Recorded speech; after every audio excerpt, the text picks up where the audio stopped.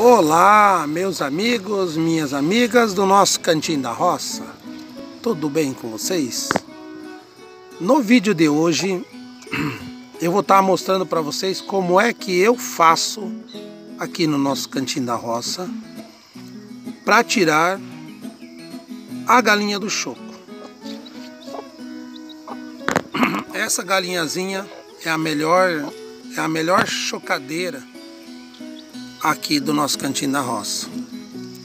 Ela pela terceira vez tem um vídeo aí no canal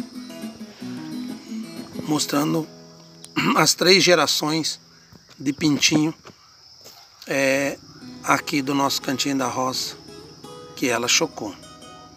E agora eu vou estar mostrando para vocês como é que eu faço para tirar do choco. Se você aí tem outro método diferente, deixa aí no, seus, no comentário. Deixe no comentário. E nós dê a oportunidade de estar tá fazendo um vídeo do jeito que você faz aí no seu cantinho da roça. Eu acho uma galinhazinha muito bonita. Ela é pequena, parecendo uma galizé, mas não é.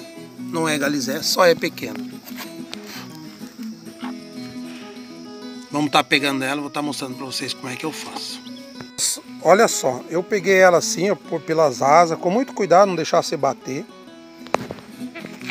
E você, aqui eu tenho um balde d'água, mergulha ela na água, ó. Mergulha ela na água para molhar todas as penas dela, ó deixar ela ali. Eu deixo ela em torno de uns 10 segundos na água, cabeça de fora. Ó. E aí, quantas vezes você faz isso? Três a quatro dias seguidos você faz isso. Enquanto ela insistir de querer vir para o ninho, lá no, no galinheiro, você faz isso. Eu, essa aqui, ela em, em quatro dias, ela já, já larga para lá. E em torno de 10, 12 dias ela volta a botar de novo. E ela choca e, e vai botando. Vou ter que, eu vou ter, sempre tem que estar tá olhando todos os dias. Olha como é que ficou. Todos os dias tem que estar tá tirando.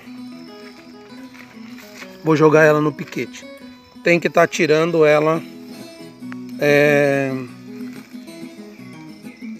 tirando os ovos que ela bota né?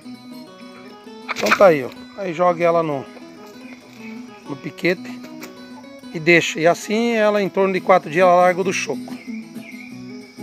Você que nos acompanhou até agora meu muito obrigado.